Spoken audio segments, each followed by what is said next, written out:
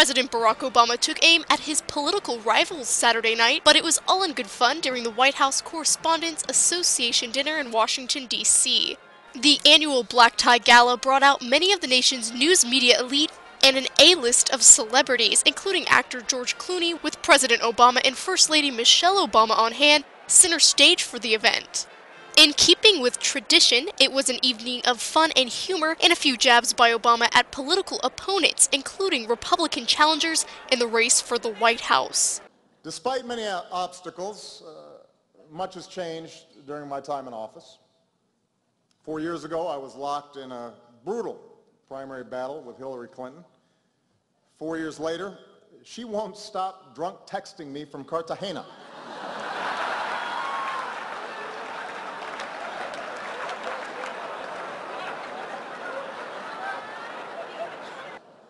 I know at this point many of you are expecting me to go after my likely opponent, Newt Gingrich. Newt, there's still time, man.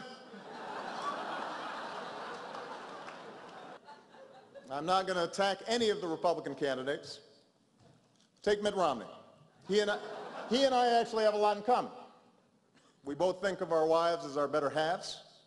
And polls show to a uh, alarmingly insulting extent, the American people agree.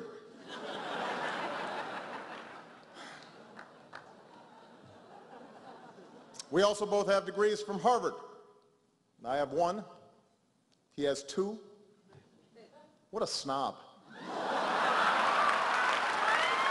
There was a nod to recent headlines, including the scandal over the allegations that U.S. Secret Service agents consorted with prostitutes in Colombia this month. And just to set the record straight, I really do enjoy attending these dinners.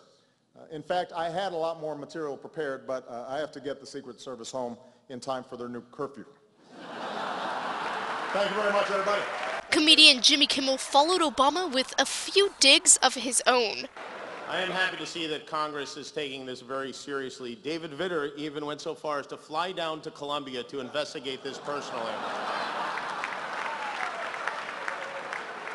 I'll tell you what, though. I know the administration has been cracking down, but if this had happened on President Clinton's watch, you can damn well bet those Secret Service agents would have been disciplined with a very serious high five. I want to thank the uh, Washington Hilton for hosting us tonight. You know, President Obama wanted to move the dinner to the Kennedy Center this year, but the Republicans wanted to keep it here at the Hilton, so they compromised, and here we are at the Hilton. Kimmel also had a bit of fun with Obama supporter George Clooney.